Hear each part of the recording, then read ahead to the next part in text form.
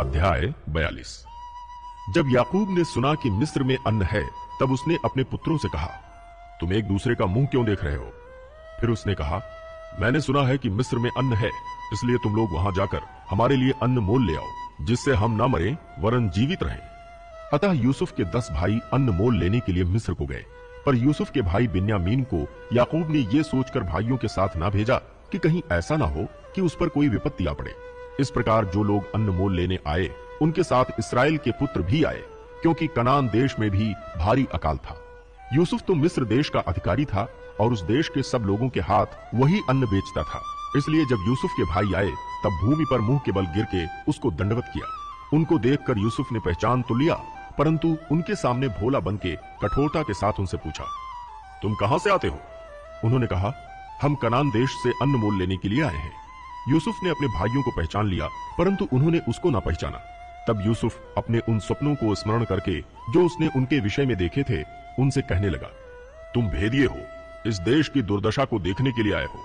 उन्होंने उससे कहा, नहीं नहीं, हे प्रभु, तेरे दास भोजन वस्तु मोल लेने के लिए आए हैं। हम सब एक ही पिता के पुत्र हैं, हम सीधे मनुष्य हैं, तेरे दास भेदिए नहीं।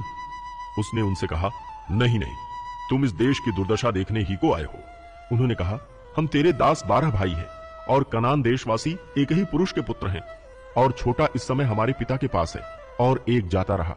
तब यूसुफ ने उनसे कहा, मैंने तुमसे कह दिया कि तुम भेदिए हो, अतः इसी रीत से तुम परखे जाओगे। फिरौन के जीवन की शपथ, जब तक तुम्हारा छोटा भाई यहाँ ना आए, तब तक तुम यहाँ से ना निकलने पाओगे। इसलिए अपने में से एक को भेज दो कि वो तुम्हारे भाई को ले आए, और तुम लोग बंदी रहोगे। इस प्रकार तुम्हारी बातें परखी जाएँगी कि तुम में सच्चाई है कि नहीं। यदि सच्चे ना ठहरे, तब तो फिरौन के जीवन की शपथ तुम निश्चय ही भेदिए समझे जाओगे। तब उसने उनको तीन दिन तक बंदी गृह में रखा। तीसरे दिन यूसुफ ने उनसे कहा, एक काम करो, तब जीवित रहोगे, क्योंकि मैं परमेश्वर का भय मानता हूँ।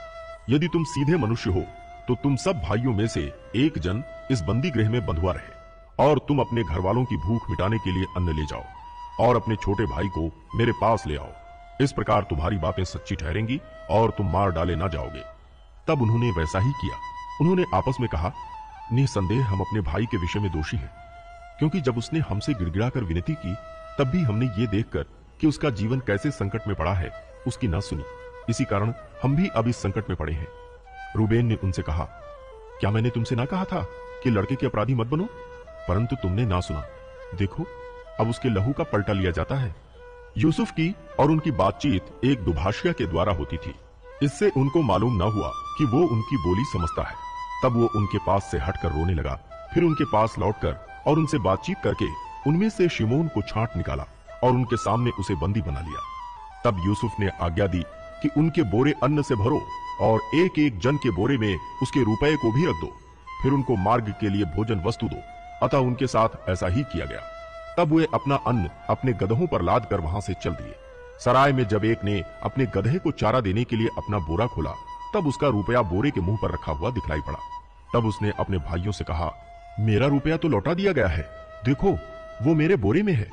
तब उनके जी में जी ना रहा, और वे एक दूसरे की ओर भय से ताकने लगे और बोले, परमेश्वर ने ये हमसे क्या किया है? तब वे कनान देश में अपने पिता याकूब के पास आए और अपना सारा वृतांत उसे इस प्रकार सुनाया, जो पुरुष उस देश का स्वामी है उसने हमसे कठोरता के साथ बातें की और हमको देश के भेदिए कहा। तब हमने उससे कहा, हम सीधे लोग हैं, भेदिए नहीं। हम बारह भाई एक ही पिता के पुत्र हैं। एक तो जाता रहा, परंतु छोटा इस समय कनान देश में हमारे पिता के पास है। तब उस पुरुष ने, जो उस देश का स्वामी है, हमसे कहा, इससे मालूम हो जाएगा कि तुम सीधे मनुष्य हो। तुम अपने में से एक को मेरे पास छोड़ के अपने घर वालों की भूख मिटाने के लिए कुछ ले जाओ और अपने छोटे भाई को मेरे पास ले आओ। तब मुझे विश्वास हो जाएगा कि तुम भेदिए नहीं, सीधे लोग हो।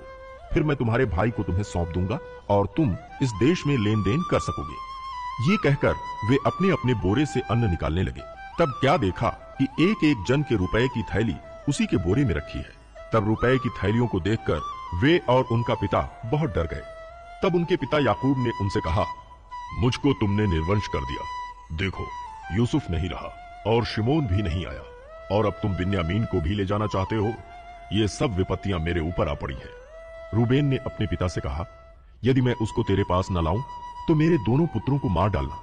तू उसको मेरे हाथ में सौंप दे। मैं उसे तेरे पास फिर पहुँचा दूँगा। उसने कहा, मेरा पुत्र तुम्हारे संग ना जाएगा, क्योंकि उसका भाई मर गया और वह अब अकेला रह गया है। इसलिए जिस मार्ग से तुम जाओगे, उसमें यदि उस पर कोई विपत्ति आ पड़े, तब तो तुम्हारे कारण मैं इस बुढ़ापे की अवस्था में शोक के साथ अधोलोक में उतर जाऊँगा।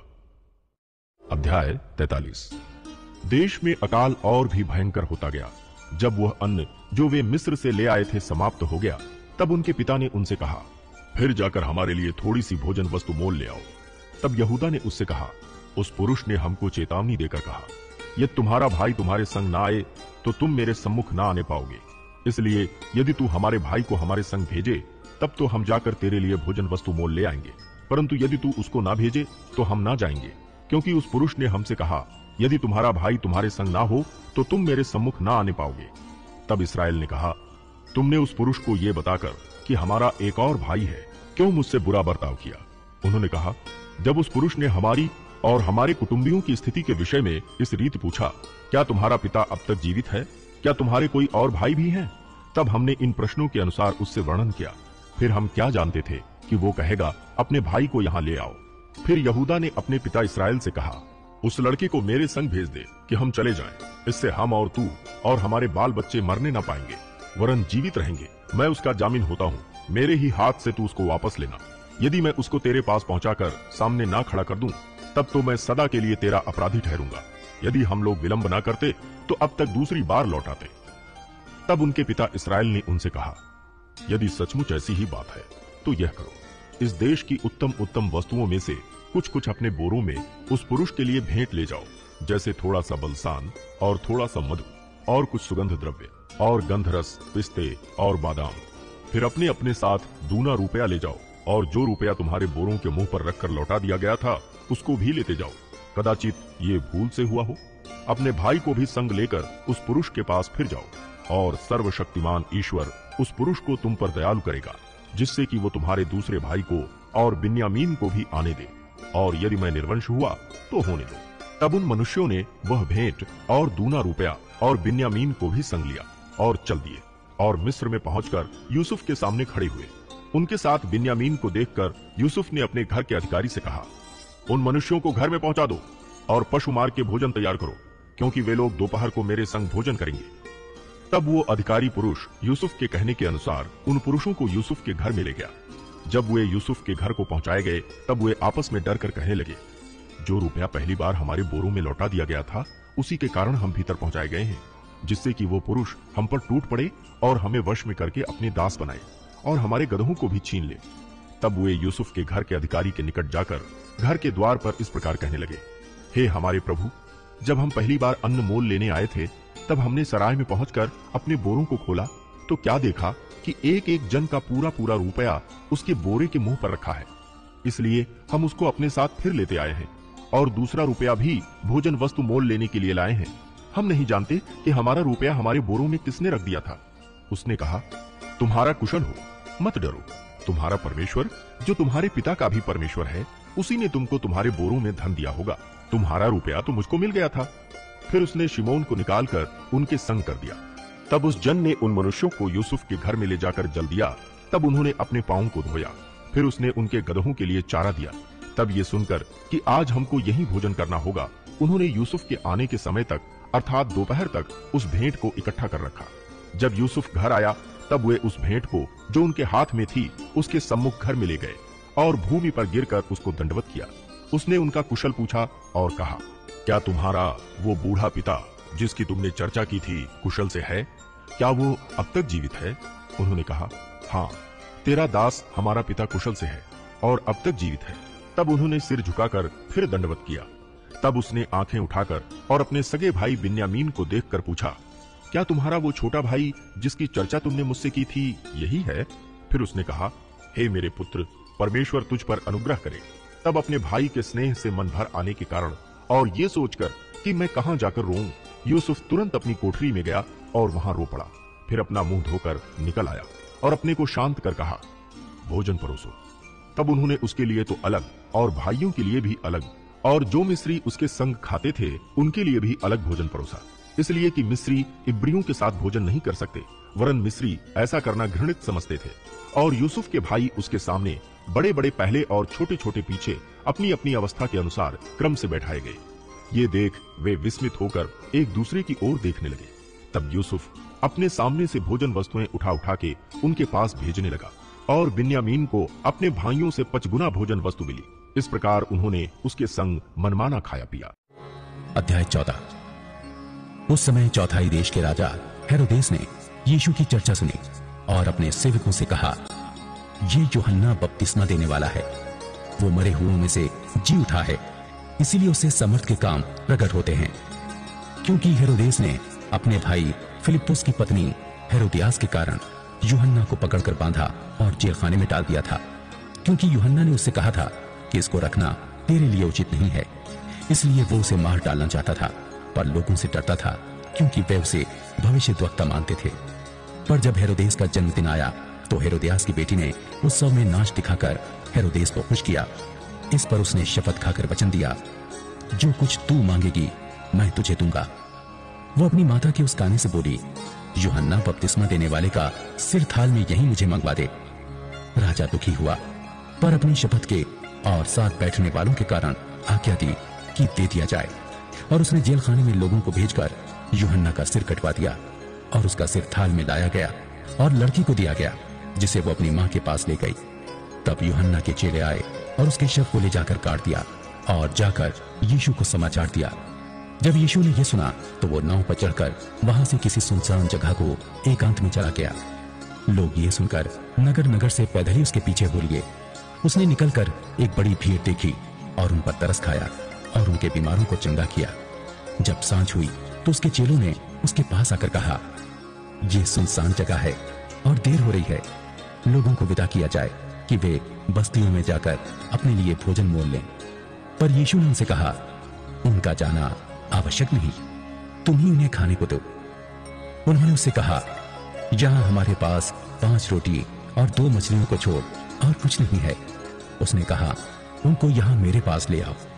तब उसने लोगों को घास पर बैठने को कहा और उन पाँच रोटियों और दो मछलियों को लिया और स्वर्ग की ओर देखकर धन्यवाद किया और रोटियाँ तोड़ तोड़ कर चेलों को दी और चेलों ने लोगों को जब सब खाकर तृप्त हो गए तो चेलों ने बचे हुए टुकड़ों से भरी हुई बारह टोकरियाँ उठाई और खाने वाले स्त्रियों और बालकों को छोड़कर पाँच हज़ार पुरुषों के लगभग थे। तब उसने तुरंत अपने चेलों को नाव पर चढ़ने के लिए विवश किया कि वे उससे पहले पार चले जाएँ, जब तक वो लोगों को विदा करे। वो लोगों को विदा करके प्रार्थना करने को अलग पहाड़ पर चला गया और साँझ को वो वहाँ अकेला था। उस समय नाव झील के बीच लहरों से टकमगा रही थी, क्योंकि हवा सामने की थी, और यीशु रात के चौथे पहर झील पर चलते हुए उनके पास आया। चेले उसको झील पर चलते हुए देखकर घबरा गए और कहने लगे, ये भूत है, और डर के मारे चिल्लाने लगे। तब यीशु ने तुरंत उनसे बातें की और कहा, ढांढस बांधो मैं हूँ, डरो मत। पतरस ने उसको उत्तर दिया, हे प्रभु, यदि तू ही है तो मुझे अपने पास पानी पर चलकर आने की आज्ञा दे। उसने कहा, आ। तब पतरस नाव पर से उतरकर यीशु के पास जाने को पानी पर चलने लगा। पर हवा को देखकर डर गया और जब डूबने लगा तो चिल्लाकर कहा, हे प्रभु, मुझे बचा। यीशु ने तुरंत हाथ बढ़ाकर उसे थाम लिया और उसे कहा, हे अल्प विश्वासी तूने क्यों संदेह किया? जब वे नाव पर चढ़ गए तो हवा थम गई।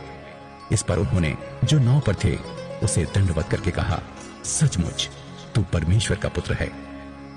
वे पार उतरकर गन्ने सरक में पहुँचे। वहाँ के लोगों ने उसे पहचान लिया और आसपास के सारे देश में समाचार भेजा और सब बीमारों को उसके पास लाए और उसे विनती करने लगे कि वो उन्हें अपने वस्त्र के आंचल ही को छूने दे और जितनों ने उसे छुआ, वे चंगे हो गए।